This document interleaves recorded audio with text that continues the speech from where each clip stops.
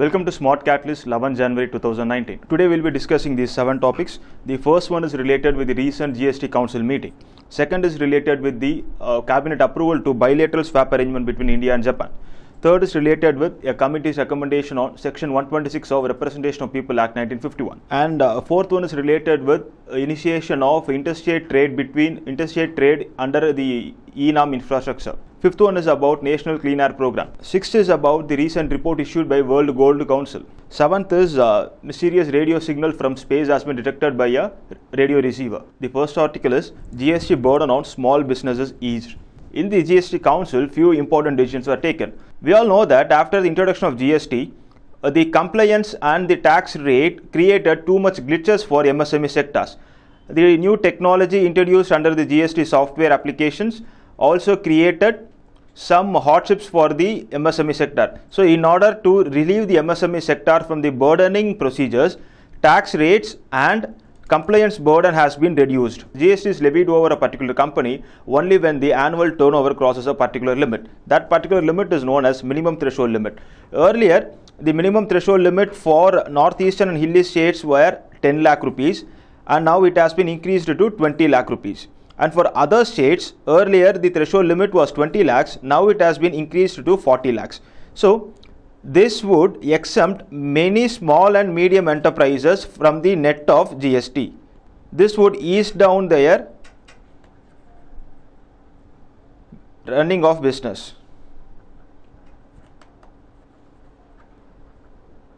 This decision has been taken considering the woes of small and medium enterprises. The third decision is related with composition scheme. Under the GST, composition scheme was introduced only to the manufacturers and traders and for restaurants not serving alcohol initially. Now, the composition scheme has been extended to small service providers also. Under the original provisions of GST, all the tax filers coming under the net of GST have to file GST in every quarters.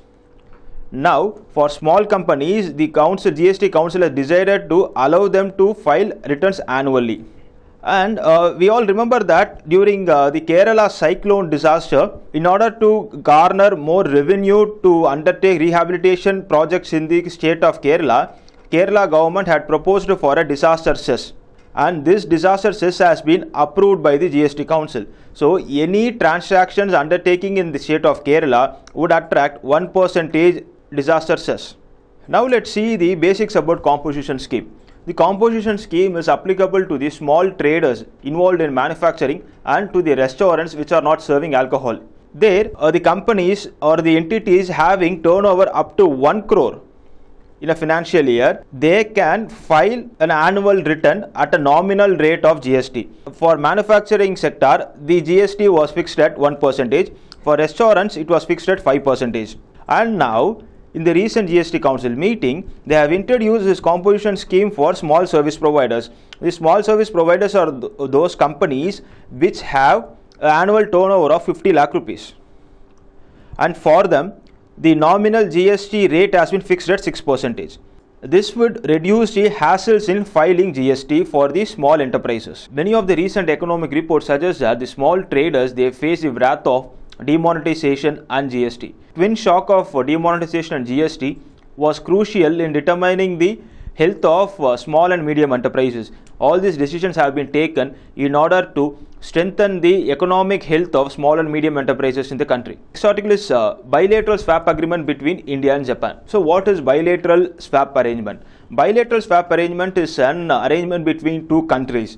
Say, for example, India and Japan these two countries they agree to by signing this bilateral swap arrangement india can exchange its currency that is indian rupee can be exchanged for japanese yen and this japanese yen can be exchanged for indian rupee. Also both these countries can swap their national currencies for another third currency say us dollars or euros the main aim of these bilateral swap arrangements is to maintain balance of payment and to meet short-term deficiency in foreign exchange.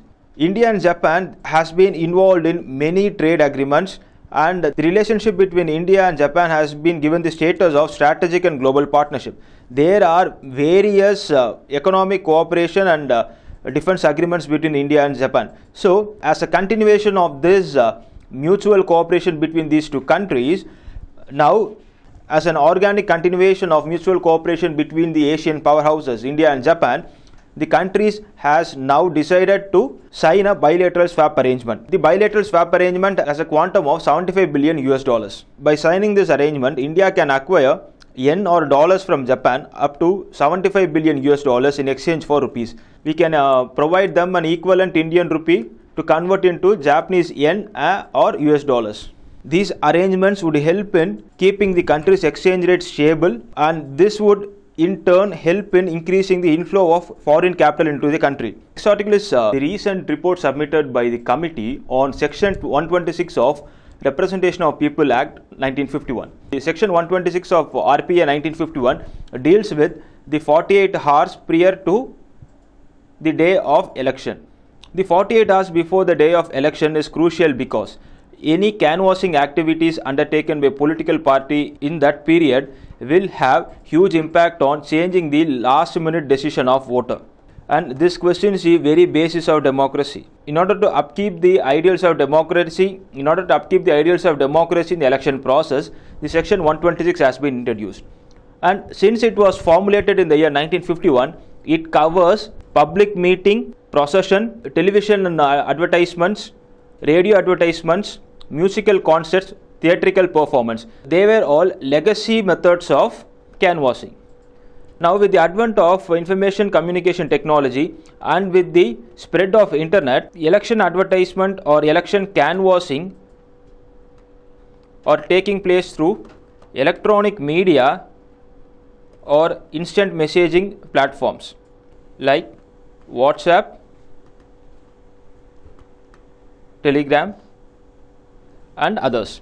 Using electronic media has greater impact on controlling the choices of voter. So this is there is no provision in the statute to restrict the usage of electronic media 48 hours before the day of election. So election commission had appointed a committee to discuss about the viable options on restricting the usage of electronic media, digital media for election canvassing 48 hours before the day of election. The committee has discussed with various stakeholders and they have given the recommendation and the recommendation has been submitted to the election commission. The next article is about the first interstate trade in the ENAM platform. The electronic national agriculture market introduced in the year of 2016 is focusing on linking the agricultural produce marketing committee that is mandis in different parts of the country. It's focusing on linking the various apmc mandis located all over the country in a single platform. Initially it was focused on linking or undertaking transaction within the mandis that located in a particular state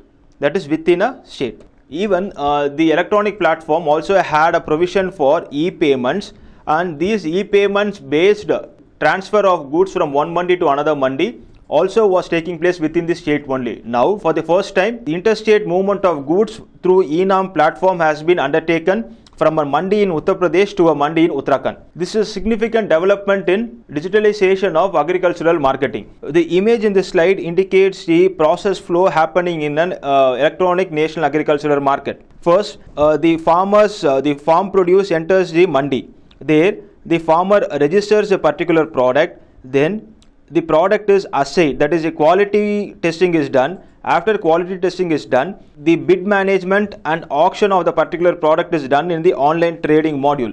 From there product is quantitatively weighted and invoiced. From after weighing the product online payment for that particular uh, product is being done after that after that the farm produce is transported to the buyer. This is the process flow happening in enam the next article is related with the recently launched national clean air program in order to curtail the emissions in indian cities. The cities in india they occupy only 3 percentage of the total land area but they contribute to 82 percentage of gdp this much uh, amount of economic activity leads to higher carbon dioxide emission Apart from carbon dioxide, cities are also the sink house for particulate matter 2.5 and 10. Apart from the particulate matters, the other pollutants like sulfur dioxide, methane, ozone and other pollutants are abundantly disrupting the atmosphere in the urban environment. In order to restrict the, in order to curtail this emission, the NCAP has been brought. This NCAP is an inclusive program and every city will have its own mitigation mechanism to restrict the emission. Now let's see the basics of NCAP. NCAP is National Clean Air Action Plan. The major aim of this NCAP is to reduce the particulate matter pollution in Indian cities, that is, the pollution of PM 2.5 and PM 10 in Indian cities by 20 to 30 percentage within the year of 2024. Only 102 Indian cities has been selected for this plan. These 102 Indian cities which has been uh, shortlisted for this NCAP or the hotspots of pollution where the pollution levels have crossed the threshold prescribed by National Ambient Air Quality Index. This NCAP would be a midterm five-year action plan with uh, starting from the year of 2019. So within 2024, they are aiming to reduce the particulate matter pollution by 20 to 30 percentage. As I mentioned earlier, localized plan, localized scheme of action to curtail pollution in that particular uh, area has will be undertaken in this NCAP. So the plan is specific to each city. The stakeholders involved in this plan in, uh, include all the organs of the state, right from the central government, state government, and to the local governments. The plan aims at prevention, control, and abatement of air pollution. Also, it augments the air quality monitoring network across the country. In order to achieve these two aspects, awareness strengthening and capacity building activities will be undertaken under NCAP. This article is related with the recent report issued by World Gold Council. The report suggests that market risk and economic growth will boost the gold demand in 2019. Globally, pricing pattern of any economic good is decided by demand and supply. In the case of gold, the demand is always increasing, whereas the supply is restricted. Uh, this has resulted in increasing price of gold all over the world. This has been augmented by the report of World Gold Council which has which has uh, stated that gold is increasingly attractive as a hedge in the year of 2019. Hedging is nothing but people park their money in order to evade any risk. People invest in some financial instrument in order to evade the erosion of money value. That is hedging. And let's see the reasons why gold is used as a hedging instrument. First, there is an increased market uncertainty. Because of ongoing trade war between uh, developed economies of the world, there has been an economic uncertainty.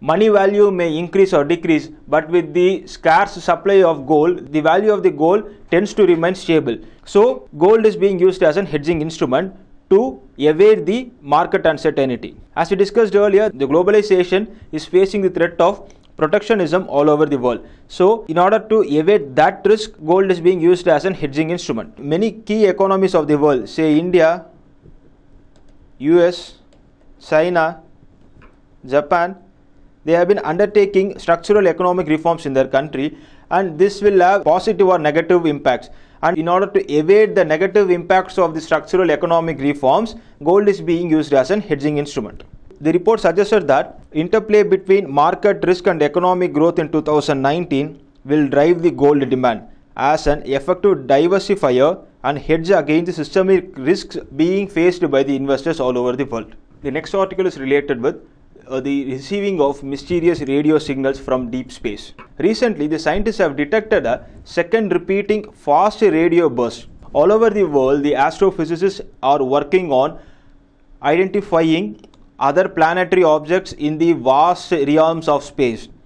And one important tool to understand the contours of the vast space is using radio receivers. Various astrophysical and astronomical phenomenon leads to emanation of radio signals. Analyzing the received signals, the structure of the space or uh, presence of a planetary, presence of a black hole, presence of a planet, presence of a neutron star can be assessed easily. And one such radio wave is fast radio burst. What are fast radio bursts? They are millisecond long pulses of radio waves.